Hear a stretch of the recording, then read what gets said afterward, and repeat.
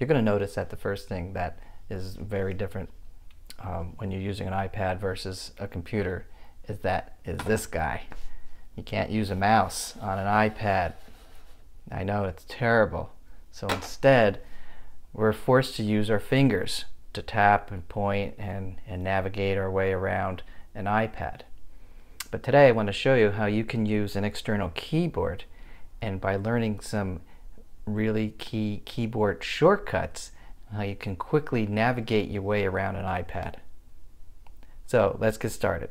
The way it works is when you hold down your finger on the command key on an external keyboard, it'll bring up a pop-up window with a list of keyboard shortcuts that are available in each app. You see every app has different keyboard commands. So the way you learn them is you simply hold down the command key. Okay, so here we are on the home screen. When I hold down the command key on the home screen, I'm presented with four of them. Let's take a look at some. The first one is uh, go to the home screen, which is Command H. So that means is if I'm in another program and I want to get back to the home screen, I hit Command H, H for home, and boom, there you are. I'm in the browser, I want to go back, I'm working, hit Command H, boom, back to the home screen. Okay, see how fast that is? So that's home. I use it all the time and it's a lot faster when your hands are on the keys to do that rather than to reach up and press and hold the big button that's on the iPad to get back to the home page. So the second one is a doozy. You're going to love it. It's search. Okay, so the more apps you put on your iPad, the more difficult it's going to be to try to find them. So instead of pointing and clicking and hunting and pecking around, what you do is you let your fingers do the walking. So you hit the command spacebar key, it brings up a search field. Okay, and you'll notice I can now type what I'm, the app that I'm looking for. And you can see here below that, it shows you the five most recent apps that I've um, that I've searched or, or used. I'm not quite sure which one. So let's say I want to open up my notes. I can just type, start typing, and there the top hit is the notes. And I can just tap on it. I can even hit the down arrow key on the keyboard and hit the enter key and I don't even have to raise my hand on the screen at all. So let's do that again. Space. Say I want to open up Twitter. Boom. Now I did tap the screen this time. Boom. There it is. Okay. Command H back home isn't that great you see how fast you can get around and and find and do things when you learn keyboard shortcuts. Uh, the next one is, uh, if you're a power user, I, I, suppose you'd, you'd be interested in this one, is, is how to take a screenshot. If you're uh, into graphics like I am, um, do any type of uh, IT or computer work, a lot of times you're doing instructional things and, and you need to take a screenshot. So, uh, just like a Mac, if you hold down your Shift Command number 3 key, it takes a screenshot. So let's try it. Shift Command 3. You See that? It just took a screenshot. If I open up my photos, there it is right there. Okay? So, screenshots. Now you know how to do it. And the last keyboard shortcut is also a really big one as well, and that's how to switch your apps, and it's Command Tab. It's the exact same keyboard shortcut you use on a Mac, even a Windows computer. So holding down the Command tab brings up a list of all the most recent apps that you've used. And when you let go, the app comes right up. So Command tab, switch to Photos, Command tab, switch to Twitter. Isn't that great? So it's a really fast app switching. Okay, so learn these tricks, practice them, memorize them, and you'll find that you're able to navigate really fast your way around an iPad, all with your hands right on the keys without needing a mouse. So here I am in um, the Safari browser, which is the default web browser that comes with every iPad. And I want to show you some of the keyboard shortcuts. You'll notice that when I hold down the command key in this application, I have a different set of keyboard shortcuts. So like I said, every app has a different set of keyboard shortcuts. Some have more than others. So just to go over a couple of these, um, we have Command R is a reload a page. What that does is it refreshes a page, and if ever the case you need to refresh a page for whatever reason, you know you can hit that little swirly arrow up in the right, or the keyboard command is Command R, and now that page is getting refreshed. So that's what that does. So the next one is Find on Page, and it's Command F, F for Find. So if I wanted to look for a specific word on a, on a particular web page, you can hit Command F, and I'm going to see the word, uh, I see the word born, make it easy, B-O-R-N, and boom, I started typing and immediately highlighted the word. Okay? So you have a search ability. What else can you do? Uh, you can open up another location and open up another go to another website basically. So as you know, you enter the URLs up here on the top. So instead of pointing and clicking, when your hands, again, if your hands are down here on the keyboard, you can hit Command L and it, it brings the focus up to the top of the screen where you can type another website. um, Google. There you go. Okay? So, what's the next command? Oh, I skipped one and that's the back. So if say you want to go back using the back arrow, it's right there. Or again, if your hands are ready on the keyboard, uh, you can do Command left bracket, Command left bracket. And right now I'm back to that other website again. Okay? So the next one here is, ah, this is a really cool one. It's show reader. What the heck is a reader you might be asking? Well, if you notice on this particular web page and on many others, um, if you look way on the top here where the URL is normally typed out, if you see these horizontal black lines there, that means that that page has a reader view. And what that does is, um, let's go, let me go to a different page here, I guess. What that does is, by tapping on it, what it does is it hides all of the other elements on a web page and it just shows you the contents of a web page. It's great. I love it because um, it hides all the ads. It eliminates all those crazy pop-ups. It allows me to read the content really nice and big and clean and simple. And that's a toggle. So whenever you see those black lines there, it's there for a reason. You can tap on it. So the keyboard shortcut to that little guy is is uh, Command Shift R. R for reader. Command Shift R. There it is.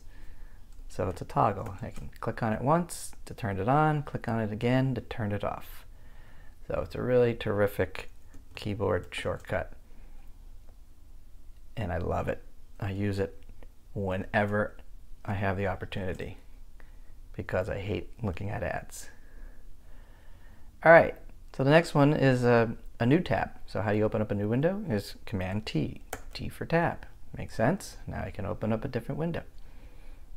Great?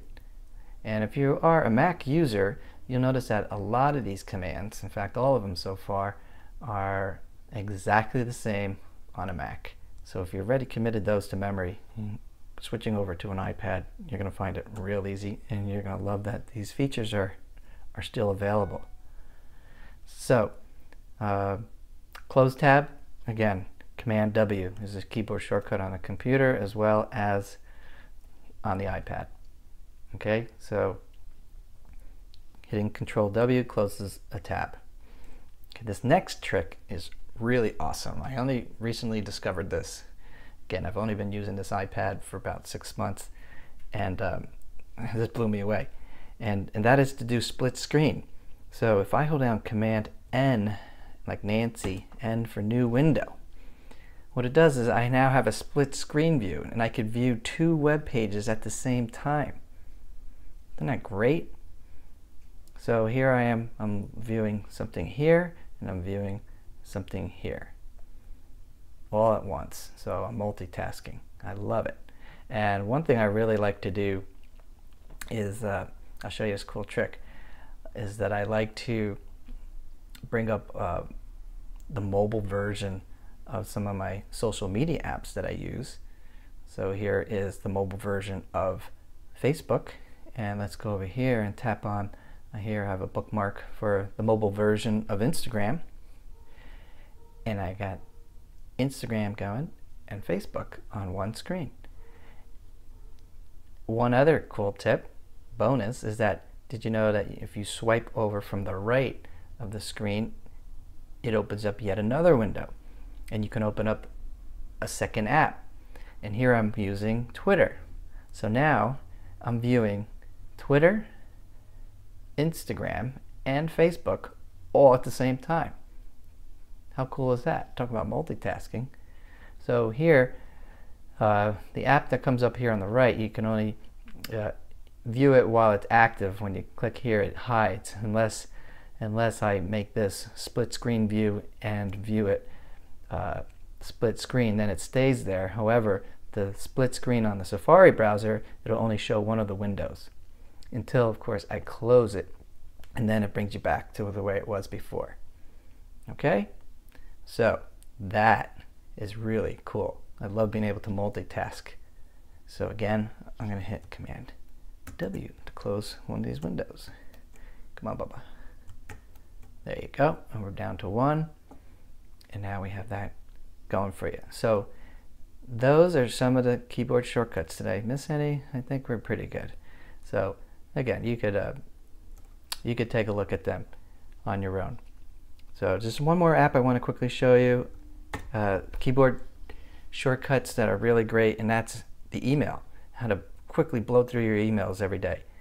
So I use the default email program that comes with the iPad. I'm a minimalist. I like to use, you know, the default apps work, work fine for me. So here's the mail app. You notice that when you um, tap on the email on the left, the content displays on the right. So if I tap on here, the email shows up on the right. Okay, so just like on Safari, did I go over the Safari? I forgot to show you the Safari tip. Uh, okay, I'm going to show you a great tip. Scrolling. Okay, this works on the Safari browser and email. So of course you know you can scroll with your finger, but did you know that you can hit the spacebar key and when you do that, it scrolls one screen at a time. If you hold down the shift key and hit the spacebar key, it scrolls back up. So again, let me show you that real quick over here in Safari. See that? So you can easily scroll. You can use your finger, the down, up and down arrows, and it'll scroll one line at a time. Okay? So a scrolling tip. So that same tip works over here in email. And I love it. The arrow keys what that does on an email is it switches over to the next email. Okay, so now I can switch, quickly navigate to the next email without, again, touching the screen and read it. Okay, and the next cool thing with the keyboard is you can delete emails just by hitting the delete key on your keyboard. You just hit it one click and it's gone. I can look at it real fast, hit delete. Take a look at it, hit delete. Okay, as you know, uh, the default way of deleting emails is uh, you can hit the tap on the trash can that's in the upper right corner of the screen and you can delete something that way. You can also delete emails by swiping. If you swipe really hard like I just did, it just took the email right out. If you swipe halfway, you get a menu and you can hit the trash can. And I'll show you one more trick of deleting emails, and that is uh, to delete multiple emails at one shot without opening them, is you can hit the edit button right there, and it brings up a little radial boxes right in front of the emails. And you can click and highlight all the emails that you want to get rid of without ever opening them.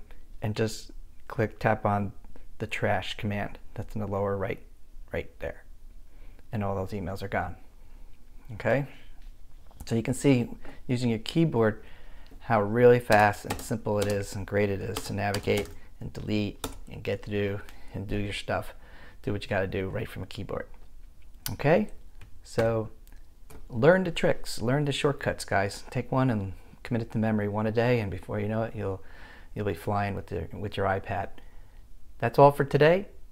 Stay tuned. Next time, I'm going to show you some keyboard shortcuts in editing documents, such as Microsoft Word and um, uh, Apple's products, Pages, and whatever, what have you. So So stay tuned, subscribe to my YouTube channel, like this video if you liked it, and I hope to see you next time. Take care.